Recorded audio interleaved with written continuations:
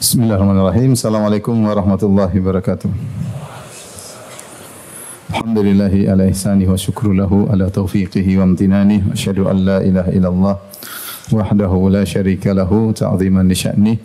Wa asyhadu anna Muhammadan abduhu wa rasuluhu da'ila ridwani. Allahumma salli alaihi wa ala alihi wa ashabihi wa ikhwani. Hadirin dan hadirat yang dirahmati oleh Allah Subhanahu wa taala. Pada kesempatan bahagia ini kita akan bahas suatu risalah yang tipis yang ditulis oleh Syekh Muhammad bin Abdul Wahab rahimahullahu taala yang judulnya Al-Usul As-Sittah yang maknanya adalah uh, enam uh, landasan atau enam pokok-pokok dasar ya. Yang enam perkara tersebut beliau jelaskan bahwasanya telah di, dijelaskan dalam Al-Qur'an dan juga hadis-hadis Nabi wasallam dengan gamblang dan sangat jelas namun banyak orang yang menyelisihi enam pokok perkara tersebut ya. Adapun enam pokok perkara tersebut saya jelaskan secara global enam perkara tersebut ya sebagaimana uh, enam usul ya. Ya, enam usul tersebut yang pertama adalah ikhlas, itu tauhid ya. Ikhlas kepada Allah Subhanahu wa taala, ikhlas dalam beribadah. Itu maksudnya tauhid kepada Allah Subhanahu wa taala dan menjauhkan diri dari kesyirikan. Ini pokok pertama dan merupakan pokok yang paling penting, ikhlas dalam beribadah dan menjauhi kesyirikan. Kemudian pokok yang kedua yang beliau sebutkan dalam risalah ini adalah uh, tentang uh, perintah untuk bersatu dan menjauhi perpecahan. Perintah untuk bersatu dan larangan untuk berpecah belah. Kemudian yang berikutnya yang ketiga adalah tentang di antara kesempurnaan untuk bisa mewujudkan pokok yang kedua yaitu bersatu dan menjauhi perpecah perpecahan adalah taat kepada ulatul umur. Taat kepada penguasa ya itu tidak memberontak kepada mereka. Meskipun penguasa tersebut berbuat zalim ya eh, kepada masyarakat. Selama ketaatan tersebut pada hal-hal yang tidak melanggar perintah Allah bukan maksiat ya. Adapun kalau maksiat tentunya tidak tidak boleh. Kemudian eh, yang keempat tentang terkait masalah ilmu ya. Pentingnya ilmu dan para ulama dan ahli ilmu dan membedakan yang bukan ahli ilmu sehingga bisa membedakan yang bukan ahli ilmu. Ini uh, pokok yang keempat. Dan pokok yang kelima adalah tentang membedakan antara wali Allah dengan wali syaitan, yaitu sifat-sifat wali-wali Allah. Wali-wali oleh Allah. Kemudian yang keenam adalah membantah syubhat ya yang memalingkan orang dari Al-Qur'an dan Sunnah. Membantah syubhat yang memalingkan dari Al-Quran Sunnah. Dari Alkitab Al-Quran dan As-Sunnah.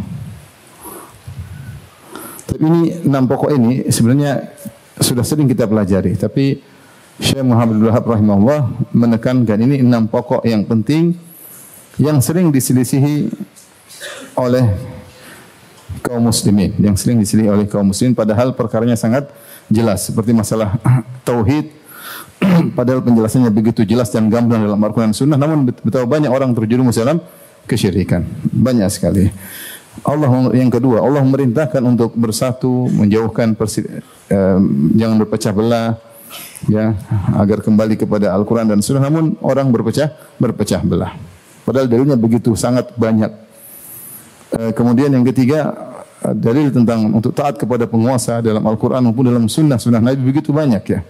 Begitu banyak larangan untuk memberontak pada penguasa yang Muslim, meskipun buat, zalim sangat banyak. Namun banyak terjadi penyimpangan sehingga muncul pemberontakan uh, kepada penguasa yang muslim, tidak ketaatan, memberontak, membangkang dan yang lainnya.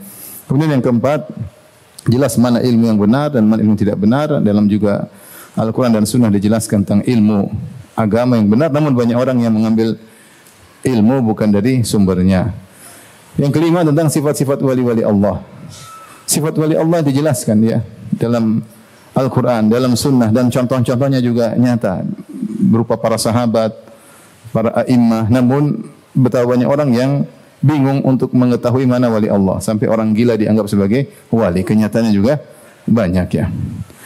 Kemudian meskipun yang keenam, meskipun begitu banyak dalil yang menyuruh untuk berpegang dengan Al-Quran dan Sunnah, namun syubhat begitu kuat sehingga Al-Quran dan Sunnah bukan sebagai uh, dalil yang primer, tapi dia merupakan sekunder. Yang pertama adalah harus akal, perkataan uh, inilah perkataan orang yang dianggap alim lah, sehingga sehingga Al-Quran dan Sunnah tidak dianggap sebagai pegangan utama. Ini banyak juga menimpa kaum kaum muslimin.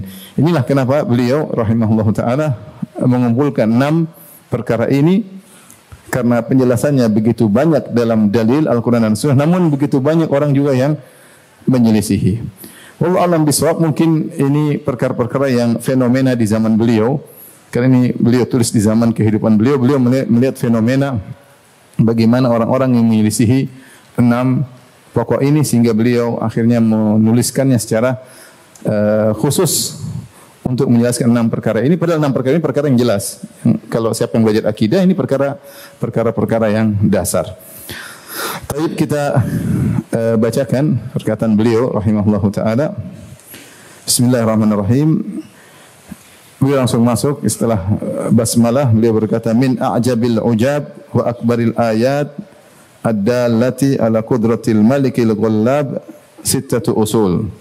Bayanah Allah Ta'ala bayanan wadihan. Di antara perkara yang menakjubkan dan perkara besar yang yang menunjukkan tanda-tanda yang sangat besar yang menunjukkan akan maha kuasa Allah Al-Malik sang maharaja Al-Ghallab yang maha mendominasi di antara hal-hal tersebut yaitu sittatu usul enam perkara bayanah Allah taala bayan wadihan yang Allah telah menjelaskan dengan penjelasan yang gamblang lil awam, lil awam. Bahkan penjelasan gamblang tersebut untuk orang-orang awam, bukan hanya untuk orang-orang menuntut ilmu. Orang awam pun kalau baca pasti ngerti. Fauqama yadhunnu dhannun. Penjelasan Allah begitu gamblang lebih daripada yang dipersangkakan oleh orang-orang yang menyangka. Ya, maksudnya mungkin orang memandang sudah jelas. Ternyata penjelasannya kalau diteliti lagi lebih jelas daripada yang kita persangkakan. Thumma ba'da hadha ghalita fiha kathirun min adkiya'il alam. Setelah penjelasan yang gamblang begitu luar biasa, ternyata banyak dari orang-orang yang cendikiawan-cendikiawan di alam ini yang keliru dalam memahami enam perkara tersebut. Wa uqala bani Adam dan juga orang-orang yang berakal, orang-orang yang cerdas dari kalangan bani Adam salah juga dalam memahami enam atau menyikapi enam pokok ini illa aqallal qalil kecuali hanya sangat sedikit. Ini mukaddimah uh, disebutkan oleh beliau rahimahullahu taala. Beliau menyebutkan di antara hal yang menakjubkan sekaligus jadi beliau mengatakan min ajabil ujab. Ada perkara yang menakjubkan. Perkara menakjubkan itu apa? Perkaranya gamblang tapi banyak yang menyelisihi. Yang menyelisihinya bukan orang sembarang, bahkan uqala bani Adam wa adkiya'il alam, yaitu orang-orang yang cerdas, cendekiawan-cendekiawan, tapi menyelisih enam perkara ini per, ini perkara yang menakjubkan. Sekaligus ini adalah akbari al ayatid dalah, tanda kebesaran Allah yang menunjukkan bahwasanya segala perkara di tangan Allah Subhanahu wa taala. Ya, meskipun jelas namun ternyata Allah mentakdirkan bahwasanya banyak orang yang tidak memahaminya atau terpaling dari memahaminya karena mengikuti syubhat dan hawa nafsu ya. Ini menunjukkan bahwasanya segala yang terjadi alam semesta ini di bawah kekuasaan Allah Subhanahu wa taala. Penjelasan sudah datang begitu gamblang namun banyak orang yang menyelisihi ya. Banyak orang yang menyelisihi. Di sini Syekh menggunakan uh, Al-Malik. Al-Malik adalah satu nama Allah. Al-Malik, Al-Quddus. Al-Malik itu maharaja. Uh, beda dengan Al-Malik. Kalau Al-Malik maknanya adalah yang memiliki, maha memiliki. Tapi kalau Al-Malik maksudnya maha maha raja ya. Seperti dalam Al-Quran Allah mengatakan limanil mulkul yaum lillahil wahidil qahar. Milik siapa kerajaan di sekarang ini hanya milik siapa Allah Subhanahu wa taala. Anal Malik di hari kiamat Allah berkata Anal Malik, Anad Dayyan, aina mulkul ardi. Saya adalah maha raja, saya adalah maha yang akan balas semua perbuatan. Mana raja-raja bumi? Maka tidak ada yang berani berkata aku adalah raja ketika hari itu karena semua kekuasaan di tangan Allah Subhanahu wa taala. Maka Allah adalah Al-Malik, raja yang sesungguhnya. Adapun Al-Ghallab, Al-Ghallab maka ini adalah hanya pensifatan kepada Allah karena tidak ada nama Allah Al-Ghallab. Tidak ada nama Allah Al-Ghallab dan kita boleh mengabarkan kepada Allah dengan nama atau dengan sifatnya dengan pengkhabaran selama pengkhabaran tersebut tidak menyelisih makna yang benar ya. Dan Al-Ghallab mana mirip dengan makna Al-Qahhar yang maha mendominasi. Al-Ghalab artinya yang maha mendominasi. Artinya Syekh rahimahullah ingin menyatakan bahwasanya segala segala perkara di alam semesta ini yang mendominasi adalah Allah Subhanahu wa taala, yang berlaku adalah kudrah Allah Subhanahu wa taala. Apa yang Allah tetapkan, apa yang Allah takdirkan itu yang itu yang terjadi ya.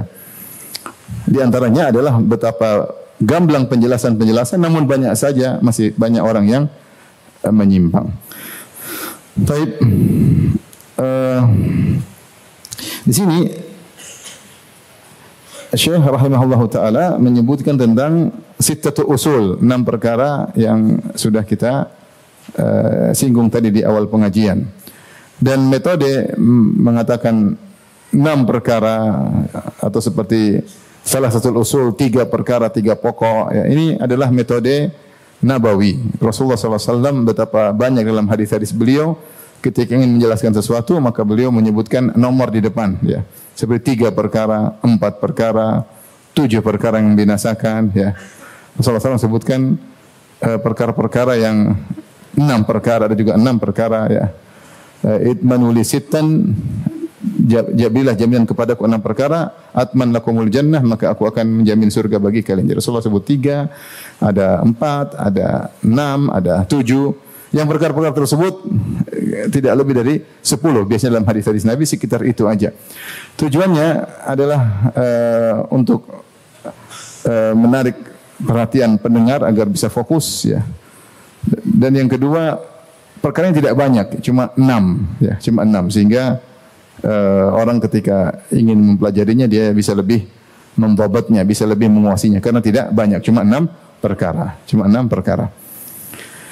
Uh, ini juga beliau menjelaskan bahwasanya perkara-perkara ini banyak disisihi oleh orang-orang yang uh, alim, orang-orang yang cerdas. Beliau mengatakan Summa ba'da hadha ghalata fiha katsirun min adhkiya'il alam. Ya, adhkiya jamak dari dzaki setelah penjelasan yang gamblang tersebut ternyata banyak orang yang cerdas yang menyimpang wa uqala bani Adam dan juga orang-orang cendekiawan cendekiawan bani Adam banyak menyimpang dalam enam perkara ini.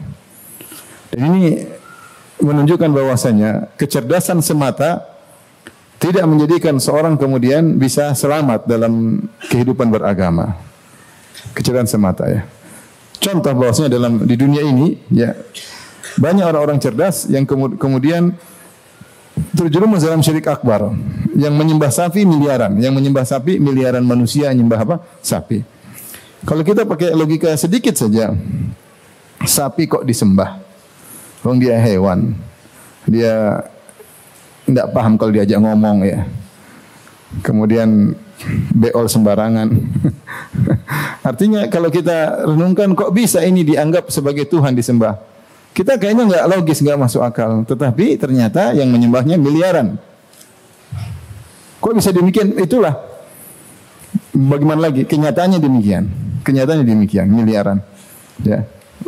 Menyembah sapi. Nanti akhirnya timbullah filsafat-filsafat yang mereka ingin sampaikan agar sapi tersebut bisa disembah seperti ini mengatakan bahwasanya sapi lebih tulus daripada ibu ya. Kalau ibu menyusui anaknya, dia masih berharap pamrih di kemudian hari. Adapun sapi kalau menyusui manusia tidak mengharapkan pamrih. Jadi dia lebih tulus daripada ibu. Logika-logika yang tidak eh, logis tapi dilogis-logiskan. Intinya sapi disembah. Tapi disembah miliaran manusia. Baik. Nabi Isa Nabi yang dia lapar, yang dia haus, yang dia tidur, yang dia pernah dalam perut seorang wanita, ya. Eh, kemudian dia mati menurut keyakinan mereka, ya. Padahal tidak ya, tapi keyakinan mereka mati, Tuhan mati misalnya. Kok bisa disembah? Ternyata bisa. Yang nyembah miliaran. Yang nyembah miliaran. Lebih banyak daripada kaum muslimin yang menyembah Allah Subhanahu wa taala. Kok bisa ya begitu kenyataan? Artinya kecerdasan belum tentu menyelamatkan apa? Seseorang.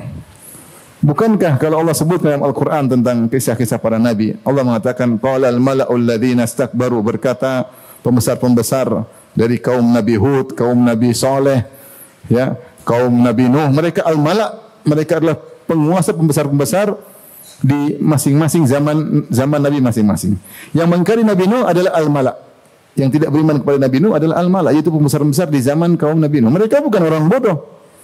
Sehingga mereka menjadi penguasa, mereka bukan orang bodoh. Paling tidak mereka pandai dalam dunia sehingga mereka menjadi pemimpin di zamannya. Demikian juga Nabi Hud, al-mala Nabi Saleh, al-mala, al-mala maksudnya pembesar-pembesar. Mereka menjadi pembesar-pembesar menunjukkan mereka cerdas, IQ mereka hebat sehingga mereka berkuasa. Tetapi ternyata mereka musyrik kepada Allah Subhanahu wa taala. Ya. Dan demikian juga sampai di zaman Nabi Muhammad SAW, orang-orang yang menentang Nabi SAW bukan orang bodoh. Abu Jahal itu bukan orang bodoh. Al-Walid ibn Mughirah bukan orang bodoh, orang cerdas. Ya. Dan seterusnya tokoh-tokoh kaum Quraisy, ya, baik pedagang besar atau pemimpin kabilah, ya mereka adalah orang-orang cerdas dan mereka adalah pembesar-pembesar di di uh, Quraisy, namun justru mereka lah yang menentang Rasulullah sallallahu alaihi wasallam. Maka benarlah firman Allah Subhanahu wa taala, "Wa aktsarun nasi walau harasta bimu'minin." Wahai Rasulullah SAW, meskipun kau bersemangat untuk memberi hidayah, namun kebanyakan manusia tidak beriman. Namun kebanyakan manusia tidak beriman. Dalam ayat yang lain kata Allah Subhanahu wa taala, ya, "Wa ma yu'minu aktsaruhum billahi illa wa hum musyrikun." Dan tidaklah kebanyakan mereka beriman kepada Allah kecuali mereka terjerumus dalam kesyirikan. Jadi Allah menggunakan lafal uh, aksar yaitu mayoritas kebanyakan orang tidak beriman kepada Allah Subhanahu wa taala. Wa in tuti aktsar man fil ardi yudhilluka an sabilillah. Kalau kau mengikuti mayoritas manusia di atas muka bumi ini maka mereka akan menyesatkan engkau dari jalan Allah Subhanahu wa taala. Maka az-zakat kecerdasan tidak cukup, tidak cukup. Ya, Ibn Taimiyah dalam perkataan yang indah beliau berkata utu zakaan wa ma utu zakaan mereka diberi kecerdasan IQ yang tinggi namun mereka tidak diberikan keimanan atau kesucian hati dan itu banyak menimpa para pakar-pakar kalau kita para filsuf-filsuf Islam mereka pakar-pakar luar biasa kecerdasan luar biasa tetapi ketika bicara tentang tauhid mereka menyimpang mereka menyimpang kecerdasannya tidak membawakan mereka untuk mentauhidkan Allah tapi mereka terjerumus dalam penyimpangan-penyimpangan yang uh, yang banyak. Maka dikatakan utu zakaan walam yu'tau zakaan. Mereka diberi kecerdasan untuk diberikan kesucian. Ya, utu uluman walam yu'tau fuhuman. Mereka diberi ilmu namun tidak diberi pemahaman yang tepat, ya. Tidak diberi pemahaman yang yang tepat. Dan kita bisa lihat di zaman kita pun mungkin orang cerdas ini cerdas tapi kok begitu ya sudah bagaimana lagi hidayah di tangan Allah Subhanahu wa taala. Entah hawa nafsu yang buat dia menyimpang, entah dia terlalu sok cerdas sehingga mengakali-akali ayat, tapi bukan orang-orang bodoh, bukan orang-orang orang bodoh. Illa aqal qalil kecuali sedikit yang uh, bertahan atau benar dalam menyikapi enam pokok ini. Tayyib kita bahas al-aslul awal ya, al-aslul awal pokok yang pertama.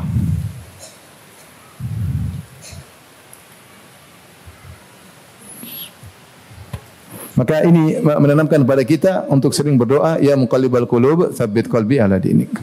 Dan itu doa yang sering dibaca oleh Nabi dalam sujudnya, ya muqallibal qulub, tsabbit qalbi ala dinik. Ya Allah, yang bolak-balikan hati manusia, tegarkanlah hatiku di atas agamamu. Kita ini lemah ya.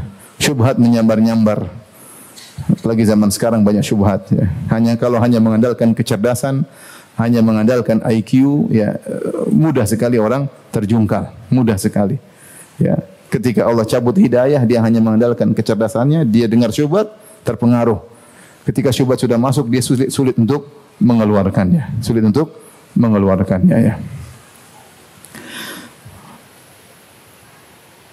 Taib al-asl awal, landasan yang pertama, ikhlasul dini lillahi ta'ala wahdahu la syarikalah, yaitu mengikhlaskan agama hanya untuk Allah Subhanahu wa taala wahdahu semata la syarikalah tidak ada sekutu baginya. Tidak ada sekutu baginya. Ini semua penekanan ikhlasuddin lillah mengikhlaskan agama hanya untuk Allah. Wahdahu penekanan semata Allah semata la syarikalah penekanan yang kedua tidak ada sekutu baginya. Sebenarnya ikhlasuddin lillah sudah selesai. Meng, mengikhlaskan agama untuk Allah sudah selesai tapi ada penekanan wahdahu la syarikalah. Tauhid perlu ditekankan wa bayanu dhiddihi dan menjelaskan lawannya alladhi huwa syirku billah. Lawan dari ikhlas adalah syirik kepada Allah Subhanahu wa taala. Wa kaunu aktsaril qur'ani fi bayani hadzal asli. Dan bahwasanya mayoritas Al-Qur'an isi Al-Qur'an menjelaskan tentang uh, pokok ini pokok pertama pertama ini. Min wujuhin syatta dari banyak sisi penjelasan. Al-Qur'an menjelaskan tauhid dari banyak sisi. Bikalamin yafhamuhu abladul ammah dengan penjelasan dari Allah Subhanahu wa taala yang dipahami oleh orang yang bodoh. Orang yang bodoh tahu. Wa'budullaha wa la tusyriku bihi syai'. Sembahlah Allah semata. Dia pahamlah. Tidak disuruh sembah patung, tidak disuruh sembah wali, tidak disuruh sembah pohon, ya, tidak disuruh sembah malaikat. Wa'budullah sembahlah Allah. Jangan berbuat, jangan mengutukkan. Artinya orang awam pun kalau dia masih murni hatinya, tulus, dia tahu bahwasanya yang disuruh disembah adalah semua Allah semata.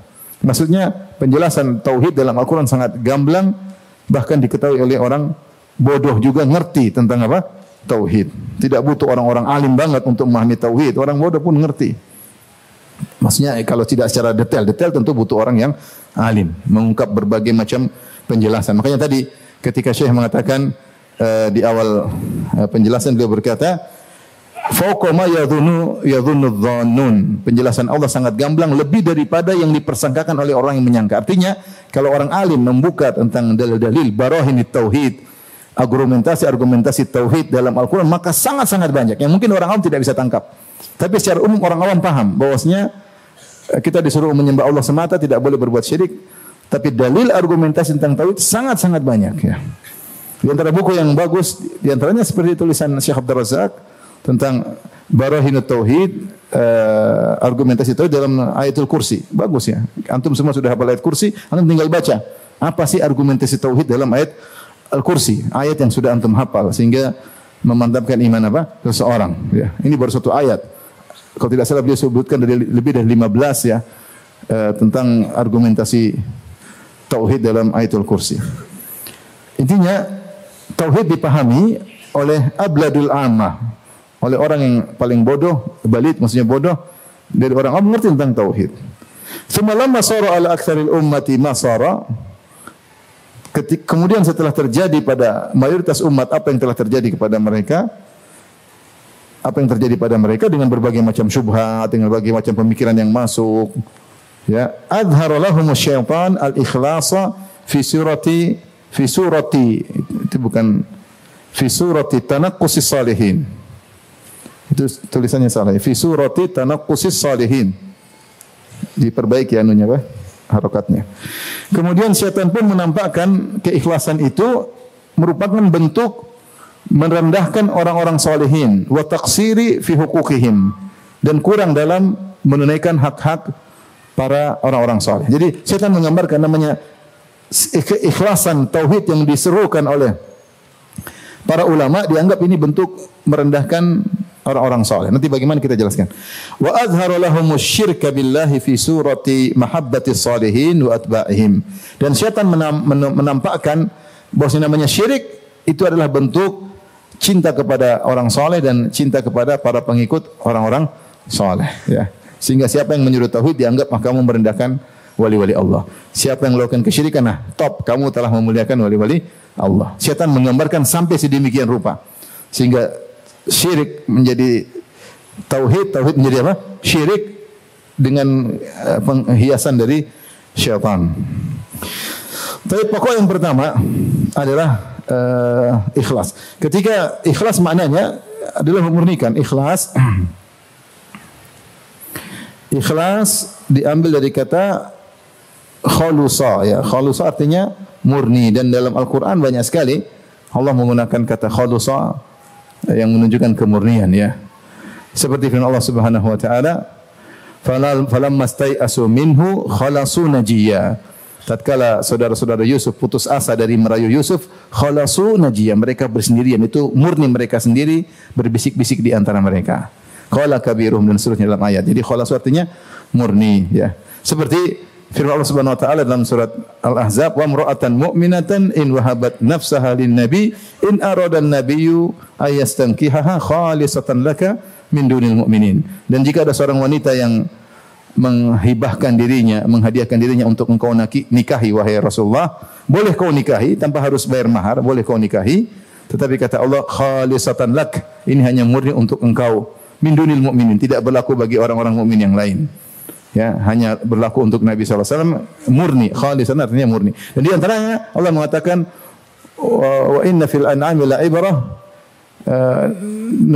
wa inna lakum fil an'ami la'ibrah nuskhikum mimma fi butuniha min baini farthin wa damin labanan khalisan sa'igan lisyaribin. Kata Allah, dan sungguh pada binatang ternak itu ada pelajaran bagi kalian. Nuskhikum mimma fi butuniha. Kami berikan minum buat kalian dari keluar dari perutnya labanan khalisan. Kata Allah Subhanahu wa taala, labanan khalisan. Itu susu yang murni, susu yang yang murni ya. Uh, min baini wadamin yang keluar di antara fars kotoran dan darah. Labanan khalisan sa'igan lisyaribin. Yang mudah untuk diminum orang-orang yang meminumnya. Jadi Allah sebutkan kemurnian susu tersebut min baini farthin wadamin, yang murni keluar dari keluar terpisahkan, termurnikan atau terpisahkan dari kotoran dan darah. Ini mana keikhlasan. Jadi kalau seorang uh, mengambil susu dari dari binatang ternak, dari onta atau dari sapi atau dari kambing, dia tidak akan mendapati ada satu tetes darah pun dalam susu tersebut.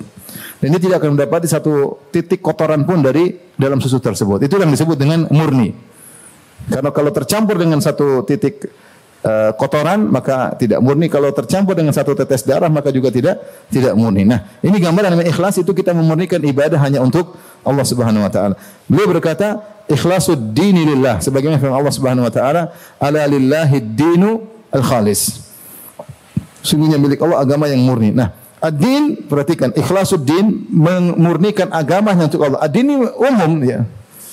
Kita ibadah semua hanya untuk Allah Subhanahu wa taala. Ibadah yang zahir maupun yang batin hanya untuk Allah Subhanahu wa taala. Ibadah yang qasirah atau mu'ta'addiyah yang ibadah untuk kita pribadi seperti salat malam, seperti baca Quran, hanya untuk Allah. Ibadah yang muta'addiyah yang untuk orang lain juga, misalnya kita bersedekah, kita membantu orang lain, ya kita memberi makan kepada fakir miskin juga harus untuk Allah Subhanahu wa taala. Intinya semua agama hanya untuk Allah Subhanahu wa taala. Ini umum. Maka semua yang kita lakukan Hati-hati kita harus selalu untuk Allah Subhanahu wa taala ya. Dakwah hanya untuk Allah Subhanahu wa taala ya. Uh, kita bangun masjid karena Allah Subhanahu wa taala. Uh, kita menyumbang karena Allah Subhanahu wa taala. Kita tidak mencari sanjungan atau uh, pengakuan dari orang orang lain. Yang kita butuhkan adalah pengakuan dari Allah. Kita cari muka kepada Allah Subhanahu wa taala. Karena ini perkara yang uh, penting terkait dengan diterimanya amal atau atau tidak.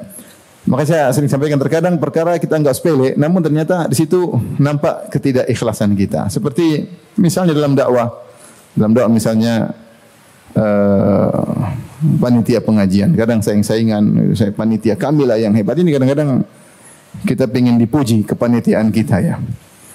Kadang-kadang dipuji. Ini berarti bukan karena Allah Subhanahu wa taala atau karena seorang menyuruh manusia kepada dirinya seperti perkataan Syekh Muhammad Wahab rahimahullah taala wa inna kathiran wa in kana yad'u ila al-haq wa huwa yad'u ila karena banyak orang meskipun dia menyuruh kepada kebenaran Al-Quran dan Sunnah namun di balik itu dia juga menyuruh kepada dirinya. Artinya sama saya aja. Yang lain jangan. Itu juga menimpa sebagian dai ya.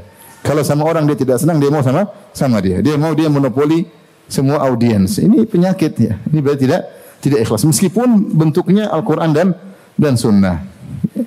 Kita bahagia kalau banyak dakwah, banyak berkembang ya. Siapa pun yang mengurangi beban kita dalam uh, membawa risalah para nabi ya, risalah tauhid.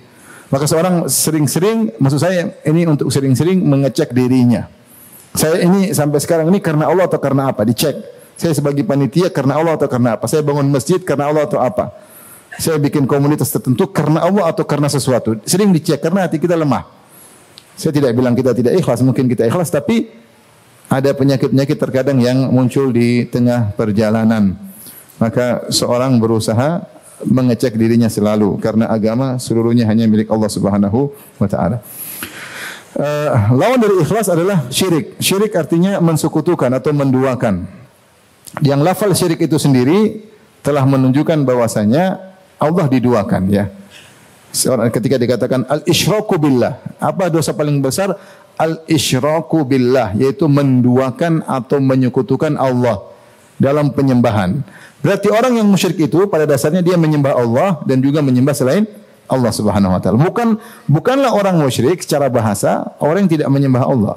Tapi orang musyrik itu adalah yang menyekutukan Allah. Apa maknanya menyekutukan Allah? Yaitu menyembah Allah dan juga menyembah selain apa? Allah. Itu namanya musyrik. Baik syirik besar maupun syirik kecil. Seperti orang riak. Riak kenapa? Dia beriak karena dia ingin dapat pahala dari Allah sekaligus ingin dipuji. Dia menduakan Allah dengan orang-orang untuk memujinya. Syirik. Ya. Namanya tauhid adalah semata-mata untuk Allah Subhanahu wa taala. Jadi jangan disangka namanya syirik adalah tidak menyembah Allah. Syirik itu menyembah Allah sekaligus menyembah selain Allah. Secara bahasa sudah menunjukkan akan hal ini. Ini disebut oleh Sanani kalau tidak salah dalam kitabnya Tathirul I'tiqad ya. Namanya lafal syirik itu sendiri menunjukkan bahwasanya uh, Allah disembah namun dia juga menyembah selain Allah Subhanahu wa taala. Itulah yang uh, terjadi pada kaum musyrikin Arab jahiliyah. Mereka haji, mereka tawaf, mereka umrah, tapi mereka juga menyembah sembahan-sembahan selain Allah Subhanahu wa taala dengan keyakinan sembahan-sembahan tersebut akan mendekatkan mereka kepada Allah Subhanahu wa taala. Ketika belajar tauhid, kita usahakan juga belajar lawannya. Belajar tauhid, belajar juga syirik dan buku yang terbaik membahas syirik dalam uluhiyah secara detail adalah kitabnya Syekh Muhammad bin Wahab Kitab Tauhid. Tidak pernah ditulis buku sedetail itu sebelumnya dan sesudahnya ya. Buku yang tipis tetapi menjelaskan macam-macam syirik dengan sangat sangat detail, sangat detail. Sebenarnya mengatakan kenapa bisa demikian? Karena di zaman-zaman sebelum masa Syekh Muhammad bin Wahab rahimahullahu taala itu abad keempat, abad kelima, penyimpangan masih banyak terjadi pada tauhid asma sifat. Itu ada falasifah, ada jahmiyah, ada mu'tazilah. Tetapi syirik tentang penyembah penghuni kubur, tentang tauhid uluhiyah muncul belakangan. Muncul belakangan sehingga Eh, di antaranya ditemui di zaman eh, Ibn Taimiyah rahimahullah taala sehingga Ibn Taimiyah membahas dengan detail namun dalam uh, pembahasan yang terpencar-pencar. Nah, Syekh Muhammad Wahab rahimahullah taala yang membaca buku Ibn Taimiyah dan juga membaca buku Ibn Qayyim rahimahullah taala maka beliau meringkas dalam kitab tauhid. Kitab tauhid. Mungkin yang bertanya Ustaz kenapa Imam Syafi'i tidak bahas Imam Abu Hanifah? Zaman dulu tidak ada. Zaman dahulu tidak marak penyimpangan tersebut. Zamannya Imam Syafi'i, Imam Ahmad itu penyimpangan tentang masalah asma, asma wa sifat. Muncullah fitnah khalqul Quran, mengatakan Quran adalah makhluk. Nah, itu fitnah-fitnah qadariyah, masalah asma sifat. Belakangan baru kemudian muncul penyimpangan tentang tauhid al-uluhiyah, peribadatan kepada penghuni kubur sehingga uh, mungkin abad ke-6 boleh muncul abad ke-5 semarak-maraknya lebih marak lagi kemudian akhirnya ditulislah oleh para ulama bantahan-bantahannya. Taib. Kemudian dia berkata di sini, uh, wa qawlu aktsaril Qur'an fi bayani hadzal asl min wujuhin syatta. Al-Qur'an ya, Al-Qur'an menjelaskan tauhid dari banyak sisi. Jadi Al-Qur'an Ibnu Qayyim mengatakan Al-Qur'an seluruhnya isinya tauhid. Sisi-sisi penjelasan Al-Qur'an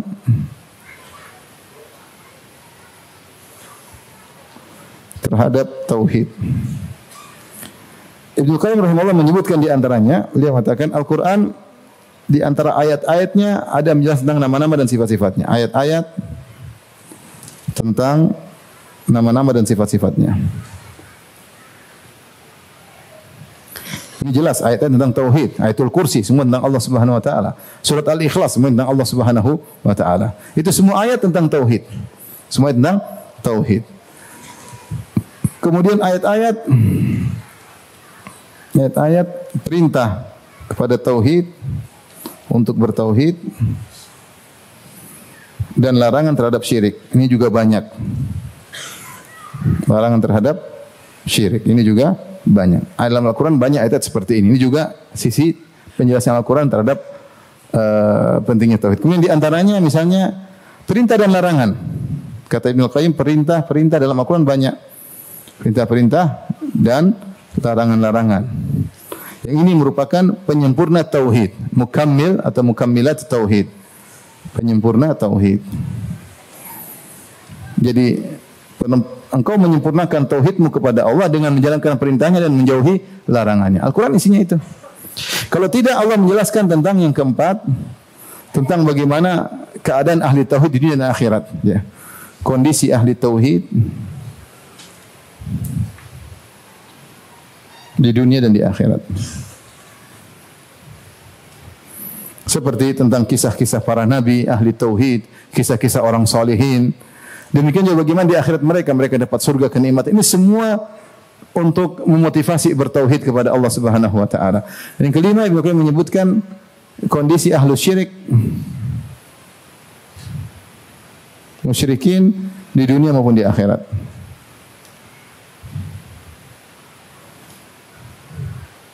Ini eh, gamblang sekali ya bagaimana musyrikin Allah jelaskan bagaimana dunia mereka, bagaimana di akhirat mereka. Ini semua Kata Ibnu Qayyim rahimahullah menunjukkan Al-Qur'an seluruhnya isinya adalah tauhid kepada Allah Subhanahu wa taala. Dari sisi yang lain kita juga bisa lihat dari sisi yang lain bahwasanya misalnya uh, Al-Qur'an menjelaskan bahwasanya tujuan kita lanjutkan ya. Tujuan penciptaan adalah apa? Bertauhid. Wa ma khalaqtul jinna wal insa illa liya'budun. Maksudnya ini jelas tauhid itu dalilnya banyak sekali. Wa ma khalaqtul jinna wal insa illa liya'budun bodoh. Tidak aku ciptakan jin dan manusia kecil untuk beribadah kepada aku. Kemudian perintah pertama adalah tauhid. Pertama dalam Al-Quran, misalnya, adalah tauhid. Dalam surat apa? Al-Baqarah ya. Ya. Allah mengatakan alhamdulillah al-Fatihah kemudian alif lam mim dzalikal kitabul sampai akhirnya Allah mengatakan ya ayuhan nasu ubudu rabbakumul ladzi khalaqakum walladzina min qablikum la'allakum tattaqun. Itu perintah untuk Ubudullah beribadah kepada Allah semata. Dalam surat Al-Baqarah berapa itu? Kalau enggak 21, 23 saya lupa. Tapi ayat pertama dalam perintah dalam Al-Quran, perintah pertama adalah perintah tauhid. Kemudian yang kedelapan, larangan pertama adalah syirik. Kata Allah Subhanahu wa taala, "Fala taj'alu lillahi andadan wa antum ta'lamun." Fala taj'alu lillahi andadan wa antum ta'lamun. Janganlah kalian mengambil tandingan-tandingan bagi Allah sementara kalian uh, mengetahui ya. Ini contoh. Contoh lagi misalnya uh, nikmat yang paling besar, nikmat pertama Allah sebutkan dalam surat 9, nikmat pertama dalam surat An-Ni'am ada namanya surat An-Ni'man. Surat An-Ni'am itu surat apa? An-Nahl. Disebut dengan surat An-Ni'am itu surat nikmat. Kenapa Allah buka dengan penyebutan nikmat-nikmat Allah? Ata amrullah fala tastajilu subhanahu wa ta'ala ma yusyrikun yunazzilul malaikata. Gimana? Min ruhi an, an anziru annahu la ilaha illa ana fattaqun. Kata Allah, di awal tersebut kemudian Allah menjadi khalaqas samawati wal arda. Allah sebutkan nikmat-nikmat menciptakan langit dan bumi, khalaqal insana min nutfatin Allah sebutkan penciptaan manusia. Allah sebutkan nikmat tentang hewan-hewan. Pertama nikmat Allah sebutkan yunazzilul malaikata birruhi min amrihi ala ma yasha'u min ibadihi an anziru annahu la ilaha illa ana fattaqun. Di antara nikmat yang pertama Allah turunkan perintah melalui malaikat kepada hambanya untuk memberi peringatan tidak ada yang berhak disembah kecuali siapa? Allah. Ini nikmat yang pertama Allah sebutkan dalam surat An-Nahl atau surat An-Ni'am. Setelah itu Allah sebutkan nikmat ciptaan langit dan bumi, nikmat uh, apa namanya yang lainnya. Kemudian di antaranya misalnya Allah menjelaskan tugas para rasul adalah tauhid.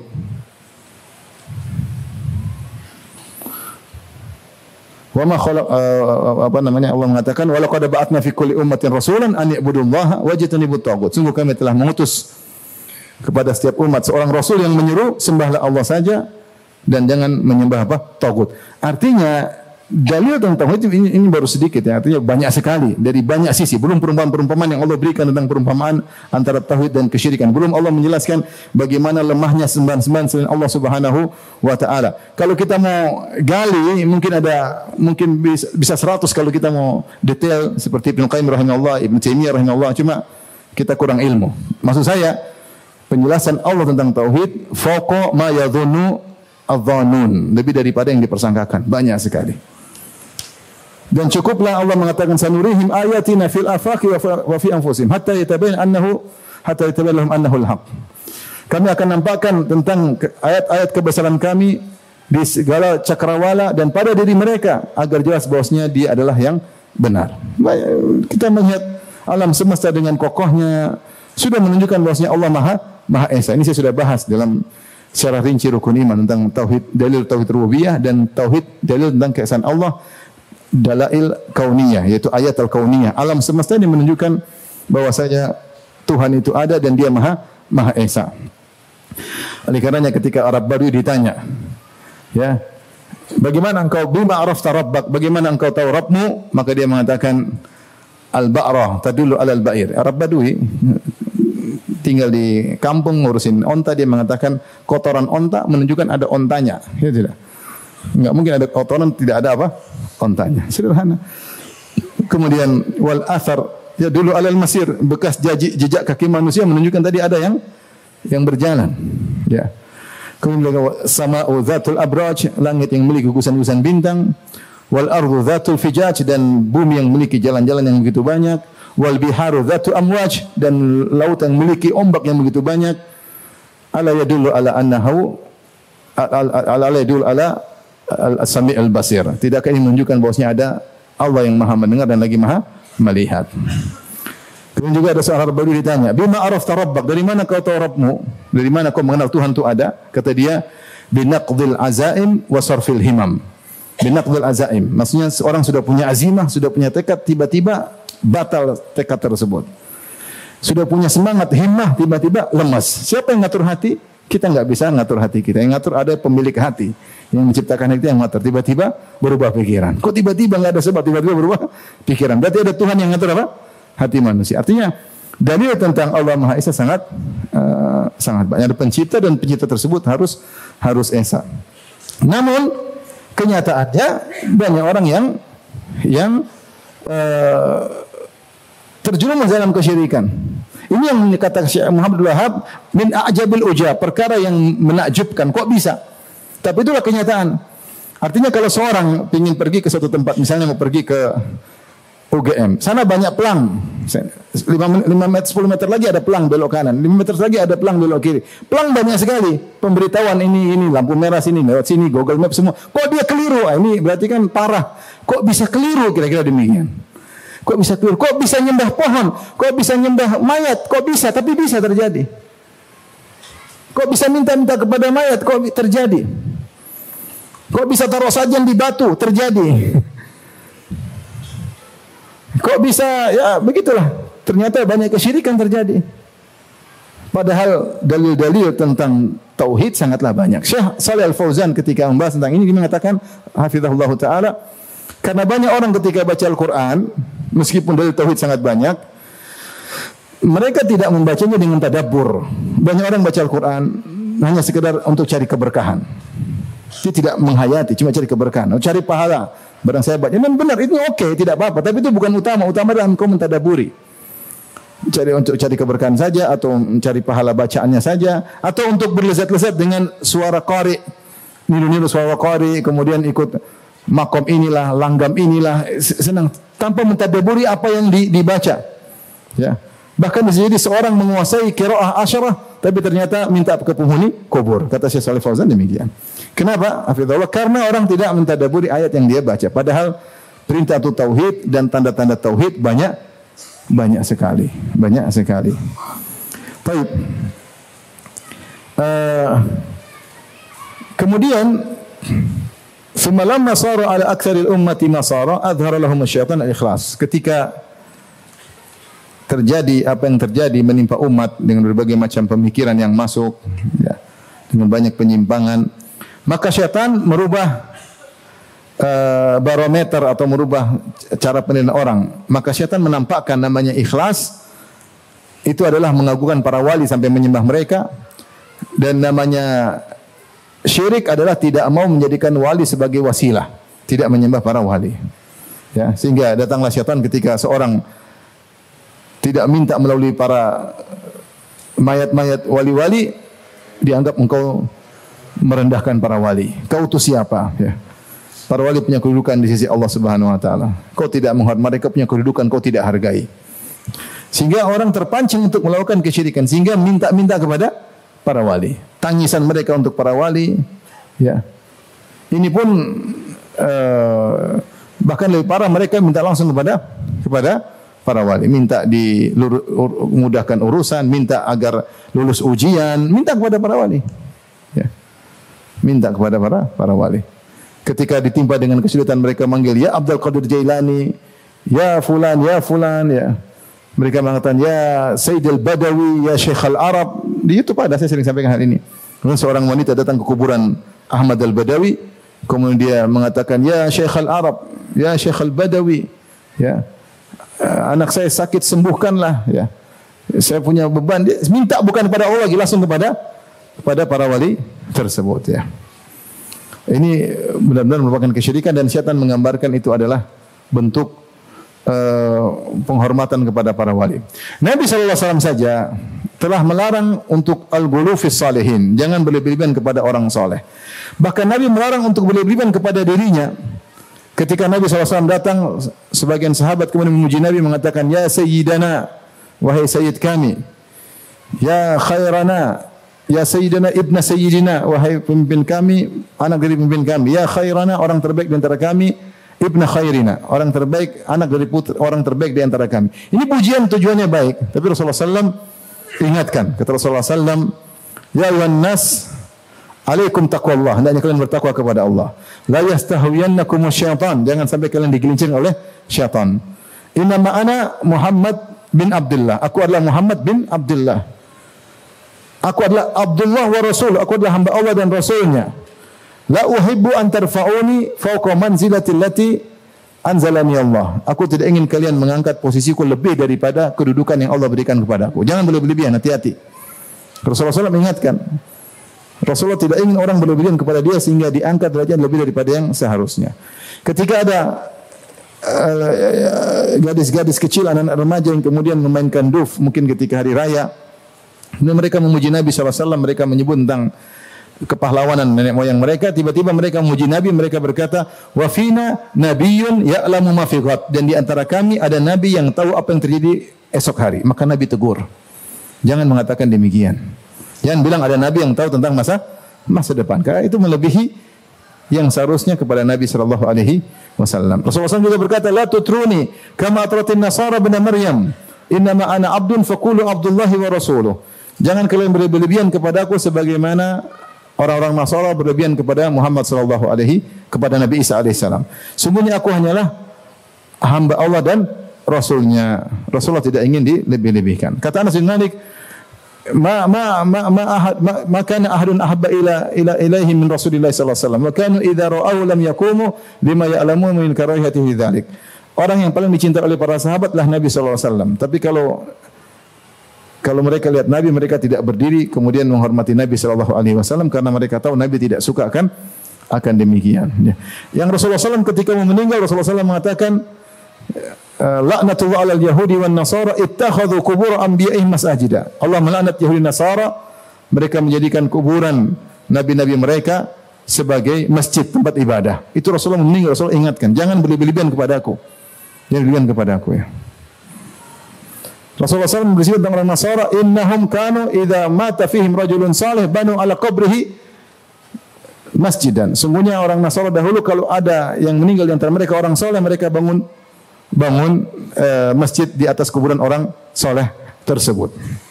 Ini Rasulullah SAW ingatkan, jangan berlebihan kepada beliau, jangan berlebihan kepada orang orang soleh. Ia kumul gulu, fa inna ma ahlaka man kana kumul gulu. Waspadalah kena sifat berlebihan Sungguhnya yang telah binasakan orang sebelum kalian adalah sikap berlebih-lebihan. Jadi tidak boleh berlebih-lebihan. Orang soleh mereka punya kedudukan, tapi kita tidak boleh melebihi kedudukan orang soleh tersebut sampai menyembahnya, sampai bertawakal kepadanya, sampai berharap kepadanya. Ketika ada masalah besar kita sebut namanya. Ini syirik. Syirik kepada Allah Subhanahu wa taala. Hadirin dan hadirin Allah Subhanahu wa taala, jadilah pengagungan terhadap kuburan sangat besar sampai kita lihat terkadang ziarah terhadap kuburan lebih memeludak daripada ke masjid ya. Bahkan orang lebih khusyuk di kuburan daripada di di masjid ya. Bahkan ada saya pernah tahu ada seorang bangun masjid kemudian kurang rame, maka ada yang kasih ide, "Pak, kalau mau rame taruh kuburan di sini." Biar orang datang, taruh kuburan wali fulan atau habib fulan, maka insya Allah orang rame. Kan yang dicari bukan masjidnya, yang dicari apa? Kuburannya, ya.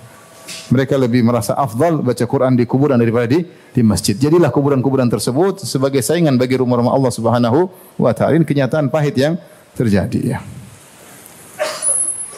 Saya tutup kajian kita sebelum kita jawab tentang kisah seorang kawan saya. Uh, dia tinggal di Madinah, dia juga seorang dai. Dia askar, kemudian dia juga berdakwah. Uh, dia pemberani ya, dia pemberani ya eh, dia cerita dia pergi ke Sudan, satu daerah di Sudan, kemudian dia sholat di masjid. Ternyata di masjid tersebut di tengah-tengahnya ada kuburan. Kemudian dia disuruh ceramah mungkin sebagai penghormatan atau apa sebagai syekh dari Madinah. Maka dia ceramah, orang ramai sekali. Maka dia ceramah tentang wasiat Nabi sebelum meninggal dunia. Maka cerita tentang harga yang sedih, bagaimana Rasulullah SAW sakit, bagaimana ini, mulai wasiat-wasiat Nabi. Orang semua perhatian dengan senang karena tentang bagaimana mengingat kematian sampai dia mengatakan di antara wasiat Nabi laknatullah ala yahudi wan nasara ittakhadhu qubur anbiya masajidah Allah melaknat Yahudi Nasrani menjadikan kuburan-kuburan sebagai tempat apa? ibadah. Di antaranya ini dia tunjuk. Langsung orang-orang bilang dia pemberani dia. Antum jangan ikut, saya cuma cerita aja. jangan ikut-ikutan, konyol ya. Akhirnya mereka bilang tutup pintu tapi dia kabur, dia sempat melewat banyak orang, akhirnya dia selamat. Disuruh tangkap sama mereka, tapi kan tubuhnya kuat memang, saya tahu ya. Dan dia pemberani.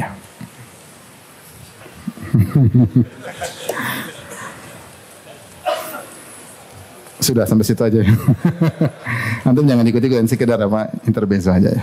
Baik, bismillah taala subhanakallah bihamdik asyhadu an la anta. Assalamualaikum warahmatullahi wabarakatuh.